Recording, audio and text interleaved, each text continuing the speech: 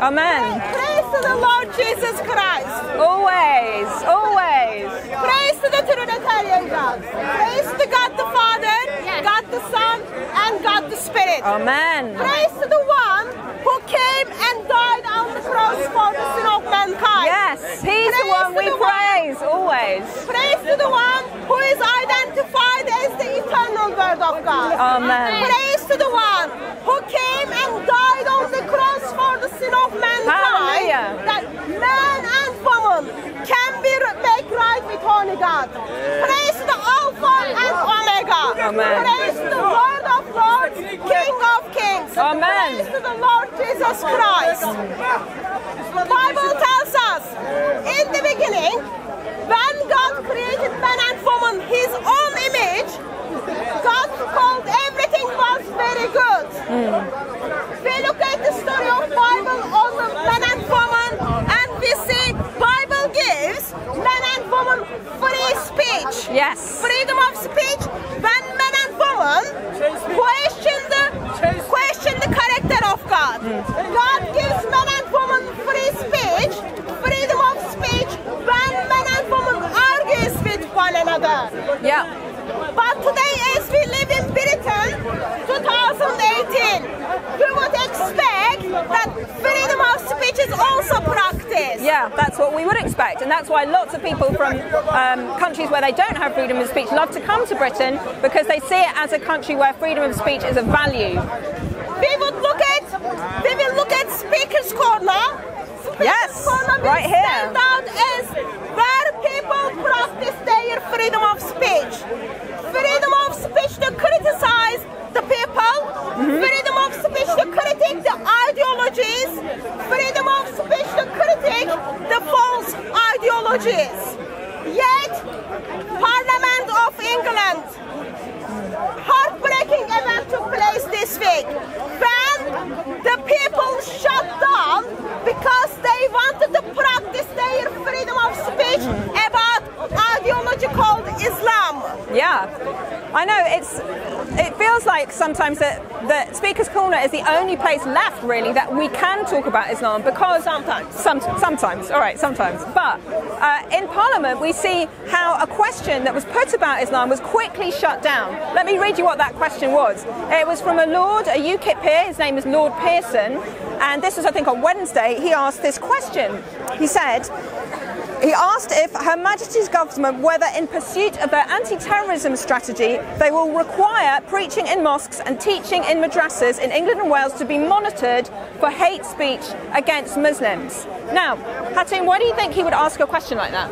Oh well, I've been to mosques and I know some mosque doesn't teach, some mosque doesn't use their own language, love language. Right. There are the things happening in the mosques where we see follower of religion called Islam end up fighting for ISIS.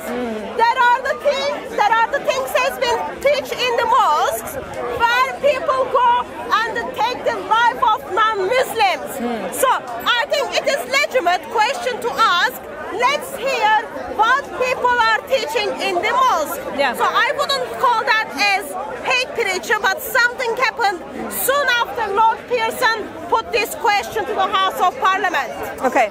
Um, before we get there, let's also just uh, give some concrete examples of what we mean. Uh, now, there was a documentary 11 years ago now called Undercover Mosque. It went out on Channel 4. This is 2007. And these are some of the things uh, that were said in that. It says things like um, there was a guy there called Abu Usama, who is still a, a preacher actually in the Green Lane Mosque in Birmingham.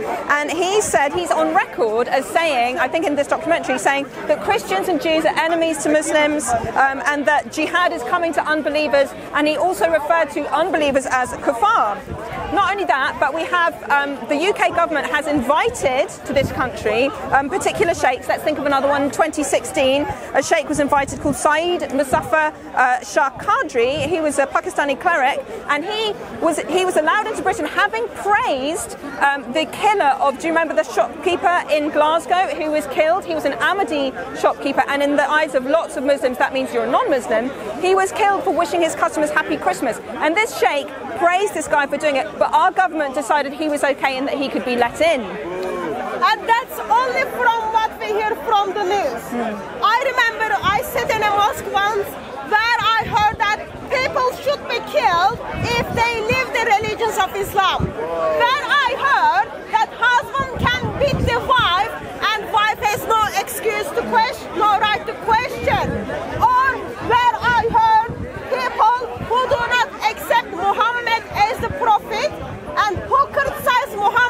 Should be killed. They are kafir. So I think it is legitimate question to say, let's hear what has been taught in the mosques that people are ending up to taking of non-Muslims. And just let's also say that this is not just an issue in mosques. We know from uh, the Henry, what is it called, the Henry Jackson think tank, uh, that actually this country has let in hundreds of extremist preachers to universities as well. So this is not just a question for mosques. It's a really legitimate question that we should be asking. Lord Pearson was absolutely right in raising that question. But what was the response that he got? Okay, let me read the question again and then we, hear, we read the response. Her Majesty government better in pursuit of their anti-terrorism strategy will require preaching in mosques and teaching in madrasas in England and Wales to be monitored for hate speech against non-Muslims. And what is the response? Yeah. Uh, first of all, who else thinks that's a good question to ask? It's just a good question to ask.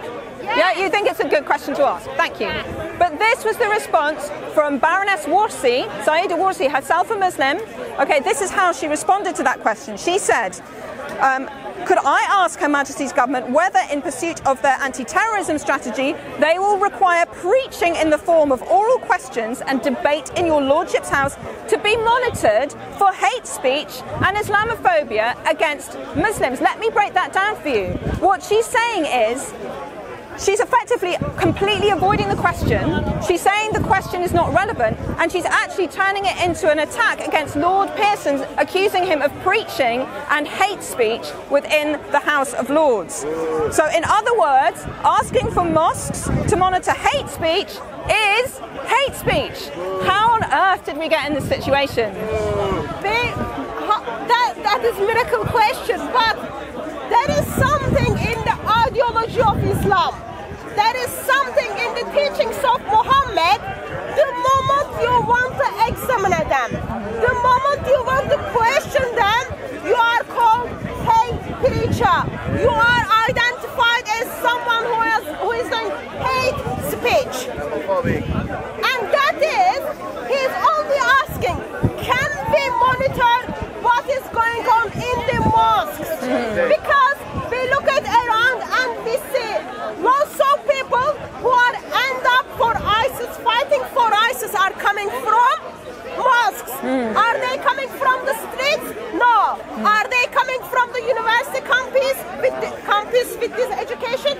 No. They are coming from the mosques.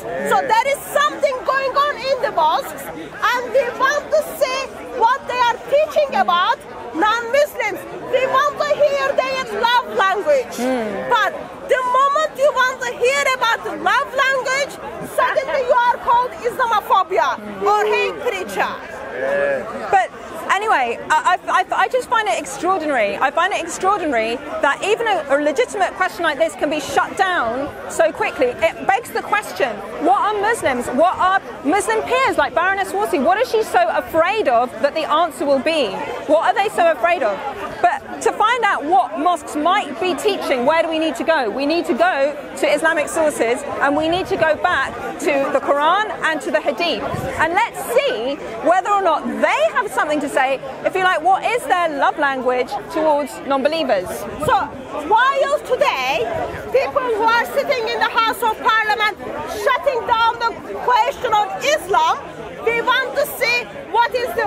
Book of Muslims say to us about non-Muslims.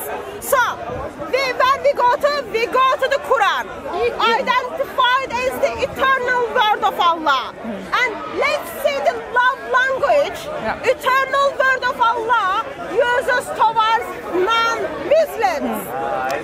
An example. Uh, this is what this is what the Quran says about Jews in particular uh, who disbelieve, who do not follow Allah, because there were Jews in that time who, who didn't accept Muhammad as a prophet and who rejected what he had to say about God. And this is what Allah says about them. This is in Surah 516. Shall I inform you? This is talking about the penalty for unbelief. Shall I inform you of what is worse than that as a penalty from Allah? It is that those whom Allah has cursed and with whom he became angry and made of them apes and pigs and slaves of Taghut, that means kind of false religion. Those are worse in position and further astray from the sound way. Allah turns Jews into apes and pigs. I think that's terrible. I think that's very anti-Semitic language. While, that is hate speech. While Quran teaches this language for Jews, it is not surprising that we hear from people who follow the religion of Islam calling Jews and Jews and Christians pigs and eggs. Very, very loving language. Another example. So comes again from the Quran. So let the people be quiet in the House of Parliament and let the Quran itself speak. Mm. Surah 98 verse 6. Surely those who disbelieve from among the followers of the book, mm. they are Christians and Jews, mm-hmm. and the polytheists, shall be in the fire, in fire for hell, a bonding therein. They are the worst of mm. creatures. The the Quran, Surah 98. language, does it? No, that's hate speech. That's hate speech coming from the Quran itself. So that is only two verses so far we looked at. Mm. I am wondering when the people who are sitting in the House of Parliament are going to call this book as the book of hate speech or hate preacher. I wonder sometimes. Yeah. Can I give you another example? Yes. This is Surah 48, uh, verse 29. Muhammad is the messenger of Allah, and those who are with him are forceful against the disbelievers. I'm a disbeliever, you're a disbeliever, and merciful among themselves. Treat the disbelievers forcefully, but be merciful among yourselves. Seriously ask yourself the question what is the Quran teaching Muslims about their attitude and their actions towards unbelievers? And ask yourself, by what we've just read, should this be monitored or not? Those are, the verses from the Quran, and they are being taught in the mosques. Should they be monitored, or our uh, um, member of the house people, what is he called them? yeah, are they correct to shut us down when it comes to the Islam? When are they going to speak about the Quran, which doesn't give very loving language towards the Christians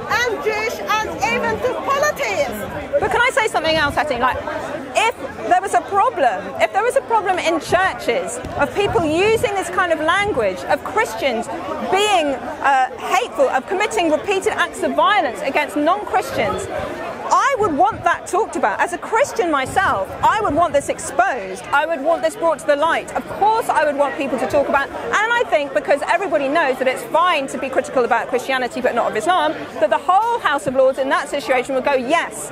Uh, when there have been scandals, for example, in the church in the past, terrible, awful sexual abuse scandals, the church has been very open about wanting there to be investigations and all the rest of it. Um, and yet you raise these questions against Islam, immediately is shut down. That is wrong. That's wrong, and that's anti the principles of free speech that this country has enjoyed for such a long time. It is amazing. When it comes to Islam, suddenly free, free speech turns and transforms and becomes Islamophobia or hate speech. But when it is about Christians, when it is about Christ, it becomes the speech.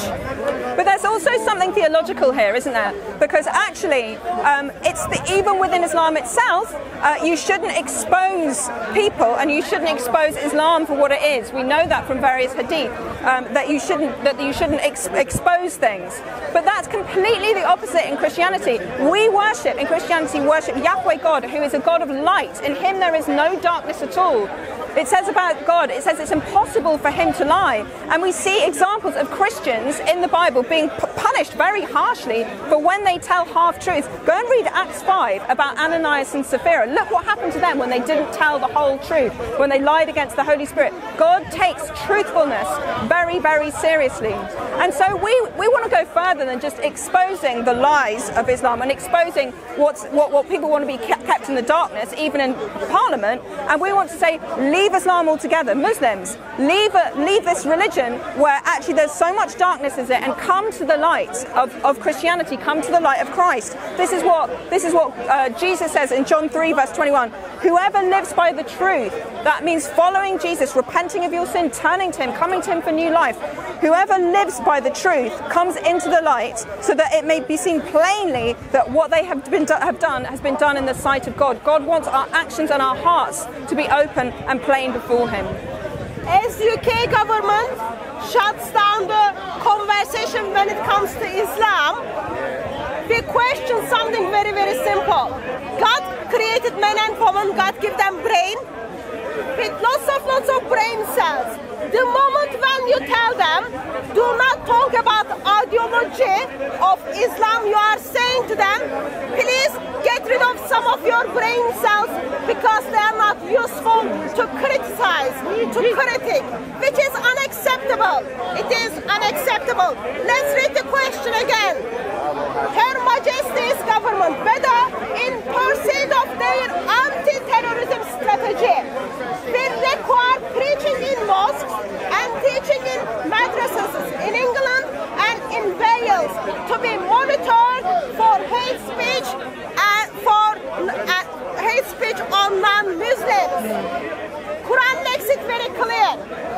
Quran doesn't use very loving language towards people who are not Muslims. Mm. No. Quran is not fall in love the worst of with preachers. people who God made. Mm. Quran is not Quran is not fall in love with Jewish, with Christians, with pagans.